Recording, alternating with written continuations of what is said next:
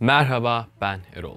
Bu videoda yanımda Mi 11 Lite ve Poco X3 Pro var. Bu telefonları karşılaştıracağız. 3500 TL'lik fiyatıyla Poco X3 Pro mu yoksa 3900 TL'lik fiyatıyla Mi 11 Lite mi alınmalı? Gelin bunun hakkında konuşalım.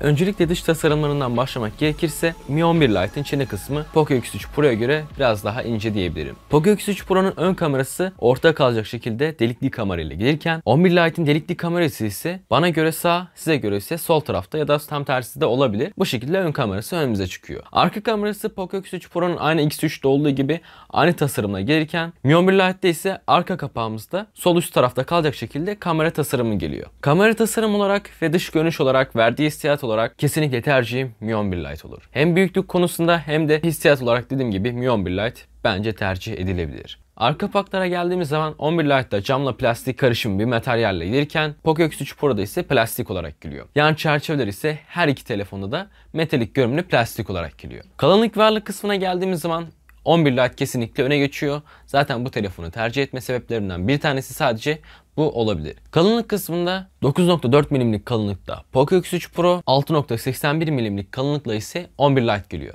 Ağırlık farkında ise bu arasındaki farkı tamamen anlıyorsunuz. 215 gram olarak Poco X3 Pro, 157 gram olarak ise Mi 11 Lite geliyor. Yani arasında neredeyse 60 gramlık bir fark bulunuyor. Bu da gerçekten fazla bir ağırlık farkı. 11 Lite'i elinize aldığınız zaman bu farkı kesinlikle hissediyorsunuz.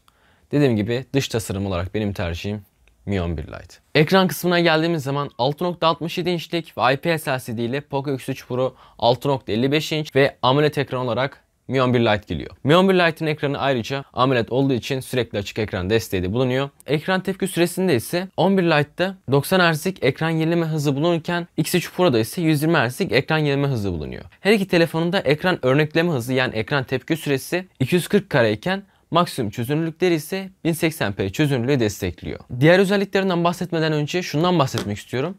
Dışarıdan bir kullanıcı olarak bu telefonlara baktığınız zaman hangi telefon ekranı daha iyi duruyor diye sorarsanız kesinlikle ve kesinlikle Mi 11 Lite'in ekranı Poco X3 Pro'ya göre daha iyi duruyor. Hem AMOLED olmasının sayesinde hem de içinde bulunan teknolojilerle birlikte bunu çok iyi bir şekilde belli ederek hem kağıt üstünde hem de görünüş olarak ekran kısmında Mi 11 Lite öne geçiyor. Ekran özelliklerinden devam edelim. Parlaklık olarak Poco X3 Pro 450 nit, 11 Lite'de ise 8 nit parlaklık bulunurken HDR ve HDR10 desteği 11 Lite'de bulunuyor. Ayrıca DCI-P3 renk uzayının tümünü kapsayabiliyor. Bunun yanında bir sürü özellik var fakat bunları anlamayacağınız için fazla üzerinde durmayacağım. Son olarak ekran dayanıklılığı kısmında X3 Pro'da Gornick Gorilla Glass 6, Mi 11 Lite'de ise Gornick Gorilla Glass 5 camı bulunuyor. Gelelim batarya kısmına. Batarya kısmında bu telefonlar bize ne sunuyor?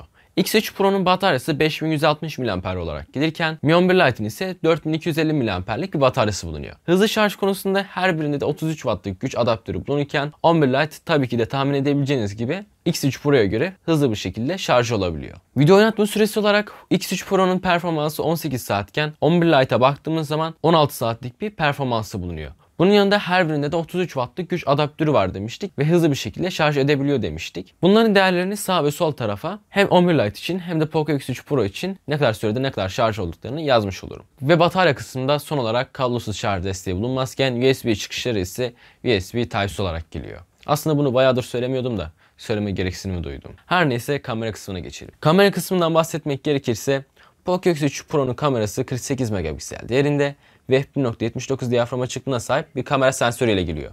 Mi 11 Lite'in kamerasına geldiğimiz zaman 64 megapiksel değerinde ve f1.79 diyafram açıklığına sahip yine bir diyafram açıklığıyla gelirken buradaki kamera sensörlerinde optik görüntü sabitleyicisi maalesef ki bulunmuyor. Yani OIS bulunmazken ACE bulunuyor. ACE ise OIS'e göre biraz daha görüntü sabitlemesini kötü yapıyor fakat ACE'in bulunması da güzel bir özellik. İkinci kamera kısmına geldiğimiz zaman ikinci kamera kısmında her birinde geniş açı kamerası bulunuyor. Bunlar 119 derece açılı fotoğraflar çekebiliyor. Üçüncü kamera kısmında yine her birinde makro çekim kamerası, Dördüncü kamera ise sadece Poco X3 Pro'da bulunuyor. Maalesef ki 11 Lite'de bulunmuyor. Ve bu dördüncü kamera ise Poco X3 Pro'daki bokeh kamerası olarak önümüze çıkıyor. Ön kamera çözünürlüklerinden bahsetmek gerekirse X3 Pro'da 20 megapiksel değerinde ve f2.2 diyafram açıklığına sahip bir kamera sensörüyle gelirken 11 Lite'e geldiğimiz zaman 16 megapiksel değerinde ve f2.45 diyafram açıklığına sahip bir kamera sensörüyle giriyor. Her iki telefonun da ön kamerasında Ace desteği bulunurken video performansı olarak ön kamerada Poco X3 Pro 1080p'de 30 fps, 11 Lite ise 1080p'de 60 fps videoları çekebiliyor. Son olarak arka kameranın video performanslarına baktığımız zaman her bir telefonda 4K'da 30 fps, 1080p'de ise 60 fps videolar çekerken slow motion kısmında ise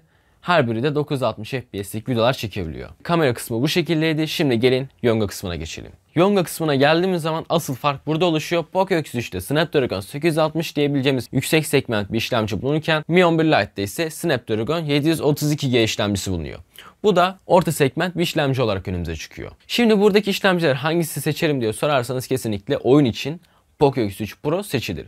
Ama oyun oynamayan birisiyseniz yani dış tasarım ve ekrana falan önem veriyorsanız burada 11 Lite'i seçebilirsiniz. Fazla lafı uzatmayacağım yani GPU frekansları falan bunlara fazla değinmeyeceğim fakat grafik birimlerinden de bahsedeyim. Grafik birim olarak 11 Lite'de Adreno 618 olarak gelirken Poco X3 Pro'da ise Adreno 640 olarak geliyor. Antutu V8 puanlarına baktığımız zaman Antutu V8 puan olarak Poco X3 Pro'nun puanı 485 binken 11 Lite'e geldiğimiz zaman ise 285 binlik bir puan farkı bulunuyor. Ardısında neredeyse 200 binlik bir puan farkı bulunuyor. Bu da gerçekten çok fazla. Yani dediğim gibi performans odaklı bir telefon istiyorsanız kesinlikle Poco X3 Pro'yu seçebilirsiniz. Şu an zaten alınabilecek en mantıklı telefonlardan birisi de Poco X3 Pro. Depolama biçimlerinde Poco X3 Pro UFS 3.1'i kullanırken Mi 11 Lite ise depolama biçimi olarak UFS 2.2 depolama biçimini kullanıyor. RAM olarak 6 ve 8 GB RAM'e sahip modelleri bulunurken hafıza olarak X3 Pro'da 128'lik ve 256 GB RAM'e sahip modelleri bulunurken 11 Lite'de ise 64'lük ve 128 GB hafızaya sahip modelleri bulunuyor. Kablosuz bağlantılar kısmında her birinde 4.5G desteği bulunurken Wi-Fi desteği olarak Wi-Fi 5 desteği bulunuyor. Ayrıca NFC ve kızılötesi sensör içinde yerleşik olarak geliyor. Suya ve tuza dayanıklılık kısmında X3 Pro öne geçiyor. IP3X sertifikasıyla suya, IP5X sertifikasıyla da toza dayanıklılık sertifikası bulunurken maalesef ki Mi 11 Lite'da ne toza ne de suya karşı bir dayanıklılığı bulunuyor. Ses kısmında çift hoparlör bulunuyor her birinde de. Her birinin hoparlörü de Hi-Res ses sertifikasına sahip. Kalite olarak Mi 11 Lite'ın hoparlörü bence daha iyi. Poco X3 Pro'nun da iyi fakat Mi 11 Lite'ın bence daha iyi diyebilirim. Bunun yanında 3.5 mm'lik jack girişi Poco X3 Pro'da bulunurken 11 Lite'de bulunmuyor. Kutusundan çıkan dönüştürücüyle 3.5 mm'lik jack girişine sahip kulaklıklarınızı dönüştürebiliyorsunuz. Parmak izi okuyucularından bahsetmek gerekirse her birinde parmak izi okuyucusu güç tuşunun içinde bulunuyor. İsterseniz parmak izinizde ekran kilidinizi açabilirken isterseniz de ön kamerayla yüz tanıma ile birlikte ekran kilidinizi her iki telefonda da açabiliyorsunuz. SIM slotlarından bahsetmeden önce her birinde hafıza kartı desteği bulunuyor yani hafızasını arttırabiliyorsunuz. Ve SIM slotlarından da bahsetmek gerekirse iki slot bulunuyor her iki telefonda da. Bir tane hafıza kartı takarsanız bir tane SIM'den vazgeçmeniz gerekiyor. Ek özellikler kısmında her iki telefonda başa baş gidiyor. Dahili likit soğutma sistemi bulunuyor her birinde de.